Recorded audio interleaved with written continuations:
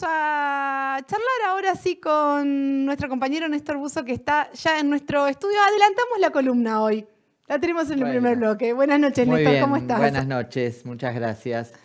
Bueno, sí, retornando de Neuquén, donde participé del sepelio de Inés Rani. Hmm. ¿eh?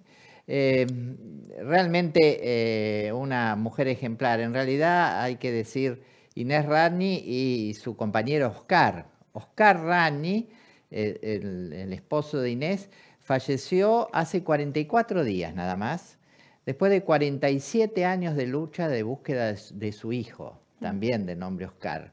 Eh, Oscar desapareció o fue secuestrado eh, el 23 de diciembre del año 76.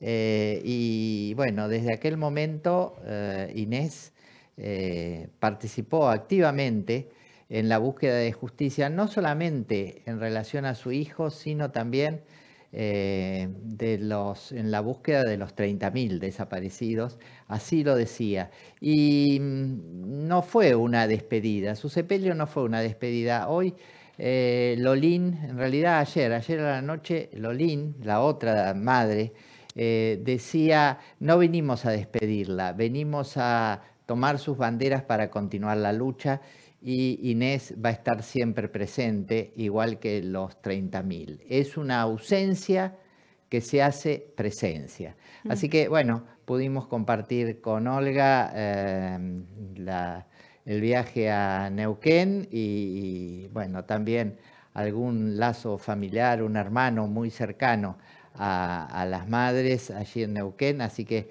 eh, un viaje rápido para acompañar em, a esos compañeros y compañeras eh, que, estaban muy cerca de Inés y de la lucha de las madres. Y hablando de las madres, una noticia hoy fue eh, la presencia policial o mm. la irrupción de la Policía Federal en la Universidad de Madres de Plaza de Mayo, en el centro de Buenos Aires. Eh, algo grave. El Ministerio de Capital Humano, del cual depende también educación, de evaluada secretaría, está persiguiendo a las madres y a la Universidad de las Madres. Universidad Nacional creada por ley, votada en el Congreso de la Nación. Y el gobierno de Miley que no respeta la ley, que está violando la ley, porque la policía no puede ingresar a una universidad nacional. La autonomía universitaria es clara en ese sentido y esto tiene una larga tradición en la historia argentina, violentada solo en unas pocas oportunidades que la historia recuerda, la más eh, conocida, la noche de los bastones largos, pero es algo de suma gravedad.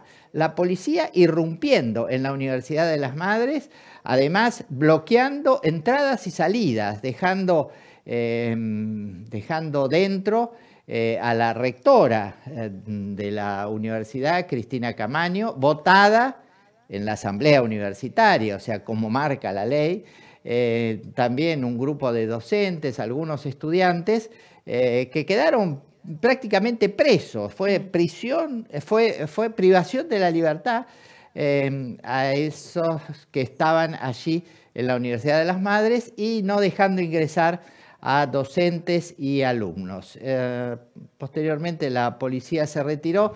Vamos a ver cómo sigue esta historia, pero evidentemente hay un ensañamiento del gobierno de Miley que no cumple la ley y no envía recursos a la Universidad de las Madres eh, desde que asumió la gestión. Es decir, mm. desde diciembre la Universidad de las Madres, Universidad Nacional, reitero, creada por ley, no recibe fondos eh, y por lo tanto docentes y no docentes están trabajando sin cobrar eh, en una situación de abierta irregularidad, persecución a las universidades, a las madres y violación de la ley es lo que sucedió hoy y es grave.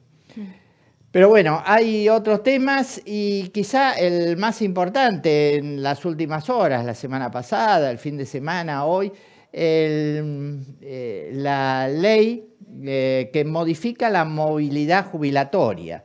Eh, ley votada en el Congreso de la Nación que modifica el decreto de mi ley sobre los saberes mm. jubilatorios. ¿Y qué dice la ley?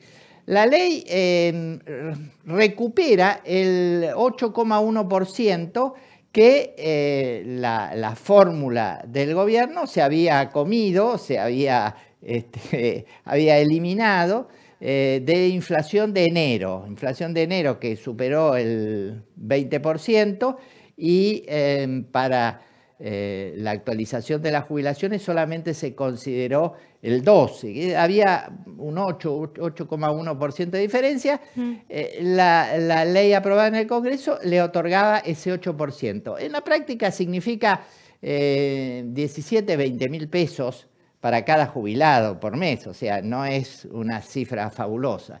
pero mm, todo suma cuando, cuando los, los saberes son este, son, tan escasos, son tan escasos. ¿no? Eh, lo otro que establecía la ley, o que establece la ley, vetada por el, mm. por el presidente Milei, es que el monto mínimo de la jubilación no puede ser inferior al 1,09, es decir, 9% debe ser 9% por encima del costo de la canasta básica de un adulto. ¿eh?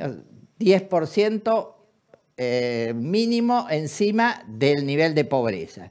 Y además establece una recomposición anual de los eh, haberes jubilatorios en caso de que crezcan los salarios. Es decir, la mitad de lo que crecen los salarios en un año es lo que se le eh, corregiría, se le aumentaría al haber jubilatoria. Y el envío de fondos a las cajas de previsión provinciales no transferidas a Nación. Esos son los aspectos sustanciales de la ley.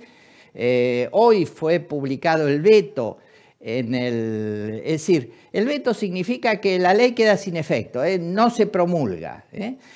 ¿Qué pasa ahora? Bueno, el Congreso puede reafirmar, ratificar, confirmar la ley.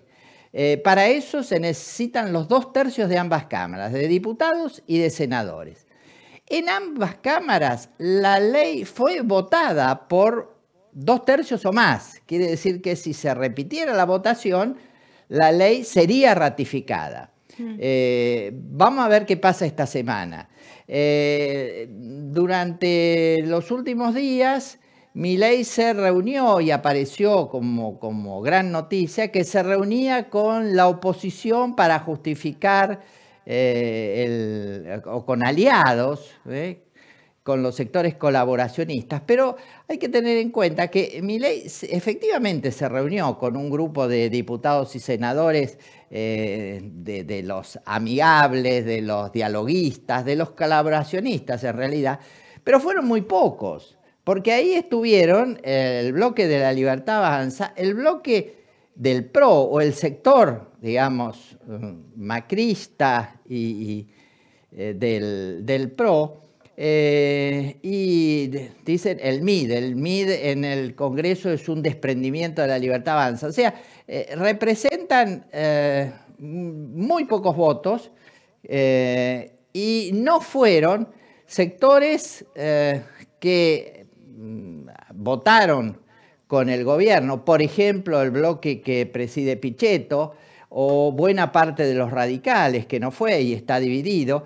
Entonces, eh, ahora la pregunta es si se va a alcanzar, se van a alcanzar los dos tercios en diputados eh, y en el Senado, donde es más complicado, parece ser diputados, eh, para rechazar el veto y obligar a la promulgación de la ley, a que se convierta en ley.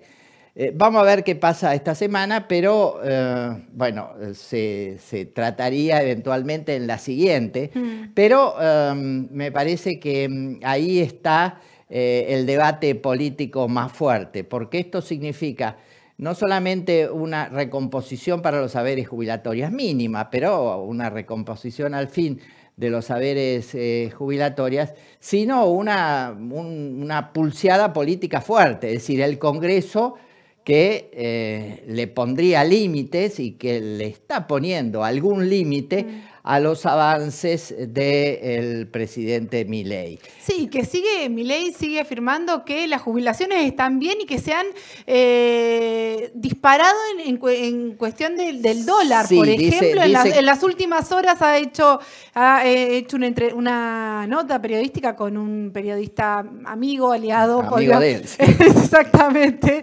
Eh, y bueno, sigue sosteniendo que... Sí, él dice que durante su gobierno la las eh, jubilaciones crecieron 5% en relación a la inflación, cosa absolutamente falsa.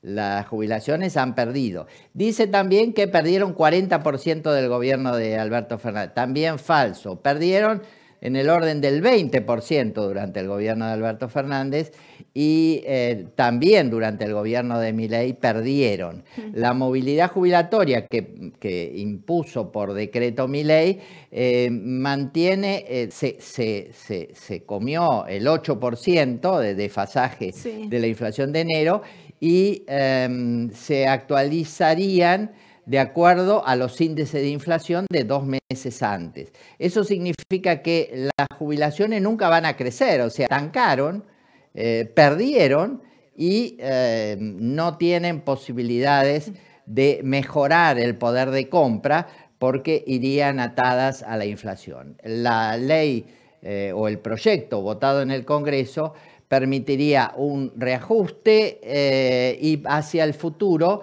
mm. eh, alguna mejora si es que la economía y los salarios de los trabajadores en su conjunto mejoran.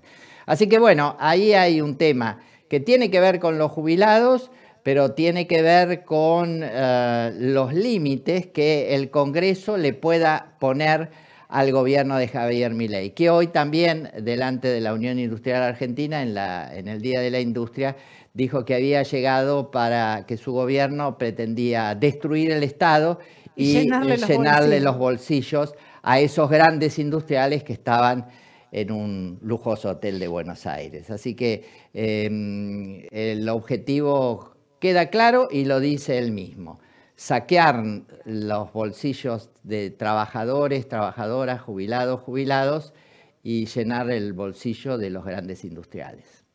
Bueno, muchísimas gracias Néstor. Nos reencontramos el lunes próximo. Con mucho gusto. Nos vamos a compartir el primer corte de este encuentro informativo y en un ratito volvemos con más.